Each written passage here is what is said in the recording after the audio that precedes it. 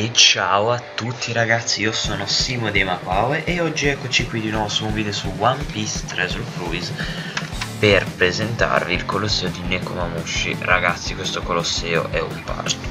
Per chi non ha i personaggi per affrontarlo è veramente veramente complicato, anche perché ci saranno un sacco di buff, di buff, potenziamenti, indebolimenti, varianti. Ragazzi, le ho sperimentate tutte tutte, sono morto in tutte le varianti, quindi se avete bisogno, se avete bisogno di aiuto, chiedetemi pure e io molto probabilmente vi eh, riuscirò ad aiutare. Il team che vi ho portato oggi eh, è un team chiaramente tutt'altro che free to play, ma è il team più safe che si possa fare. Ora, eh, ho sperimentato anche una variante che funziona pure con Chopper perché questo team farà molto fatica a funzionare con Chopper. La variante stessa uguale di questo team è cambiando eh, Asop con Mihawk Blue. A quel punto voi praticamente avrete un HP cut per cui eh, riuscirete ad uccidere anche Chopper eh, nel, nello stage eh, successivo attivando poi il veleno di Magellan e la special di Sabo. Comunque ragazzi eh, questa è una sostituzione che potete fare tra l'altro una sostituzione free to play quindi magari vi è anche più comodo non avrete tantissimo bisogno di, di layer.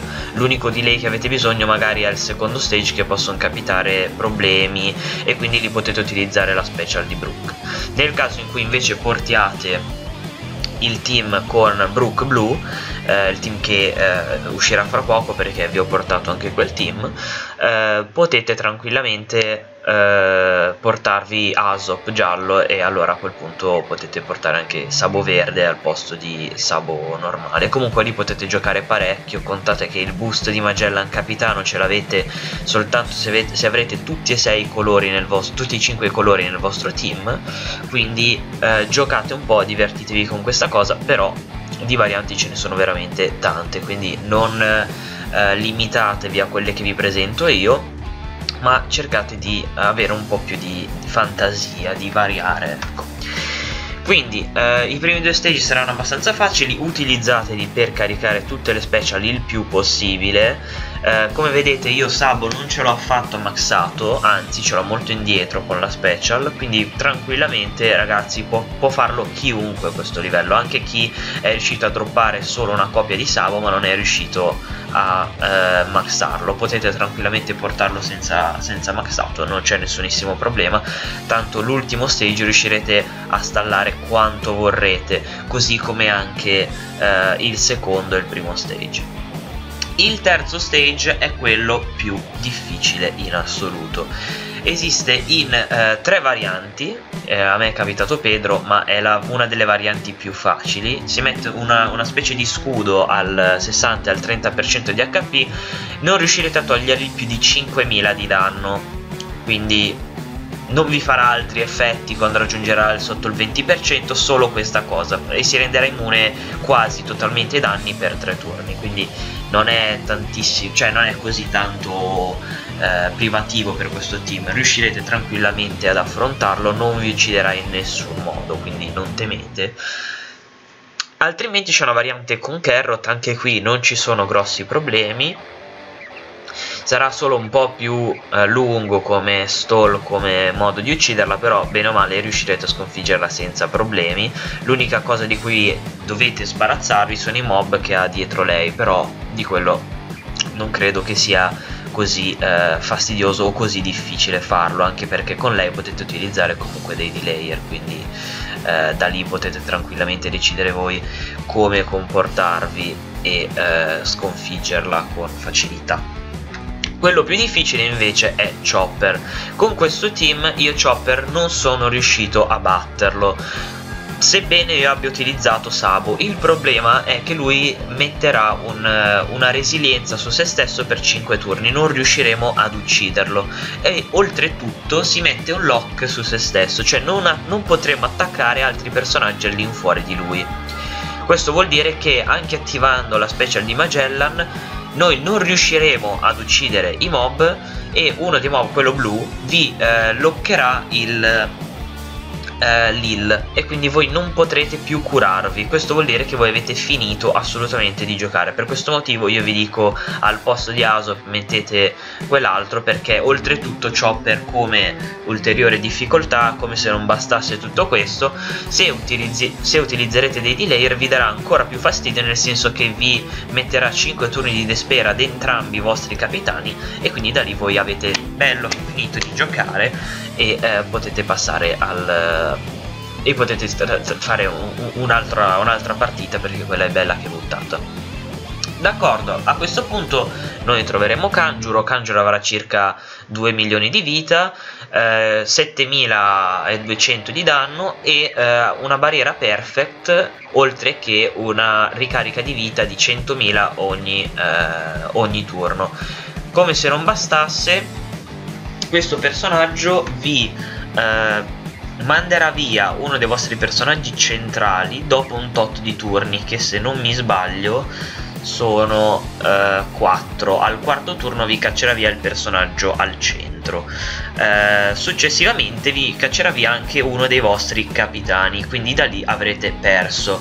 Il vostro obiettivo è quello di utilizzare il vostro Magellan il vostro amico Magellan quello verde per questo motivo lo portiamo per uccidere eh, Kanjuro e quindi riuscire a passare il livello.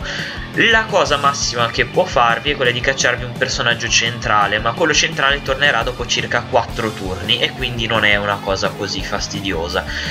Riuscendo a stallare poi eh, lo stage finale, perché lì riuscite a stallare quanto volete, bene o male, eh, riuscirete comunque a far tornare il vostro personaggio centrale e a recuperarlo. Come potete vedere si può fare tranquillamente anche senza...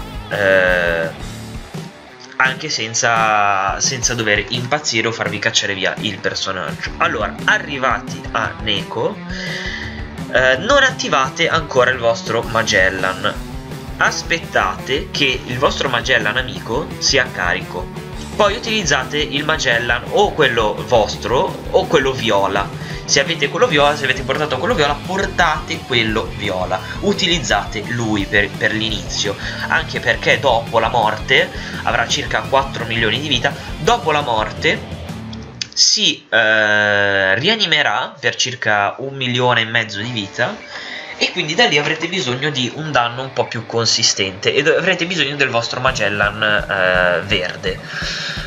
Eh, subito dopo utilizzerete Sabo, avrete due turni per ucciderlo con tranquillità altrimenti da lì siete fatti in quanto si metterà l'enrage altrimenti riuscireste anche ad ucciderlo prima ma non c'è modo di non fargli mettere l'enrage quindi eh, molto tranquillamente utilizzate il vostro Magellan, utilizzate Sabo e cominciate a colpirlo. Come potete vedere io ho portato Bartolomeo che è proprio la, la, mossa suprema finale per essere super mega tranquilli di superare lo stage al 100% in quanto se non riuscirete a batterlo entro i due turni almeno riuscirete a guadagnare un turno extra. Non è detto che riuscirete ad ucciderlo comunque però il veleno di Magellan comunque farà parecchio male. Eh, questa è proprio la tecnica suprema finale per riuscire ad ucciderlo al 100% però ragazzi non è obbligatorio. Potete tranquillamente riuscire a sconfiggerlo anche senza. Come vedrete io sono riuscito tranquillamente a sconfiggerlo anche senza bisogno di utilizzare Bartolomeo. Sebbene l'abbia usato la sua special non è stata stata necessaria quindi state tranquilli. Voi Nekomamushi riuscirete ad ucciderlo anche con un altro team un po' più scarso quindi non temete, non temete, riuscite a fare tutto. Voi potete vedere qui ho aspettato in maniera tale da uh, avere poi l'amico pronto quando Nekomamushi si sarebbe rianimato. E uh, e niente ragazzi, sostanzialmente qui la special di Brook può essere utilizzata come vi dicevo il secondo stage per stallare Nel caso in cui magari i personaggi che vi capitano nel secondo stage siano uh, tutti a livello 1 eccetera Voi potete stallare nel primo stage, uccidete tutti tranne un mob rosso di quelli davanti. Quelli davanti non vi utilizzeranno di buff, non vi metteranno niente di particolare Potete stallare su uno di loro e, e guadagnare i turni necessari per poi poter attivare Brook il secondo secondo turno però sostanzialmente qui come potete vedere è difficilissimo utilizzare decentemente dei delayer perché tantissimi avranno uno scudo oppure comunque vi impediranno di usarlo. Chopper vi punirà tantissimo se utilizzerete un delayer durante il suo turno quindi capite che l'unico turno in cui vi servirà veramente di eh, stallare sarà quello di Carrot e solamente in casi di estrema necessità altrimenti non sarà nemmeno così eh, non sarà nemmeno così impellente questa necessità. Comunque ragazzi eh, questo è il Colosseo di Nekomamushi spero di esservi stato il più utile possibile. E noi ci rivecchiamo ad un prossimo video